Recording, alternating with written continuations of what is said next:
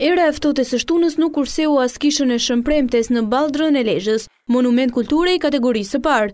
Ky objekt tetëqindvjeçar mjaft i rëndësishëm kulti, ka pësuar dëmtime në çati dhe rrezikon dëmtime të mëtejshme të saj. Specialistët e Drejtorisë Rajonale të Kulturës Kombëtare verifikuan dëmin dhe vlerësimin e situatës. Specialisti Helidon Sokoli ka bërë të ditur se menjëherë do të merren masat për riparimin e dëmit. Kisha është dëmtuar nga elementët e drurit dhe nga pjesë të tjera të çative që kanë ardhur nga objektet përreth, objektet e institucioneve religjioze që ndodhen përreth objektit të kultit monument kulture, të cilët si pasojë e erave të forta kanë rënë në afërsi të objektit në duke rënë një pjesë e tyre edhe mbi çati, çka ka sjellë edhe dëmtimin e e tjegullave në pjesën veriperëndimore të objektit. Ka pësuar një dëmtim pjesa e çatisë, ku ka thyerje të tjegullave dhe dëmtimi i elementeve të drurit që bëjnë të mundur edhe qeramosjen e objektit.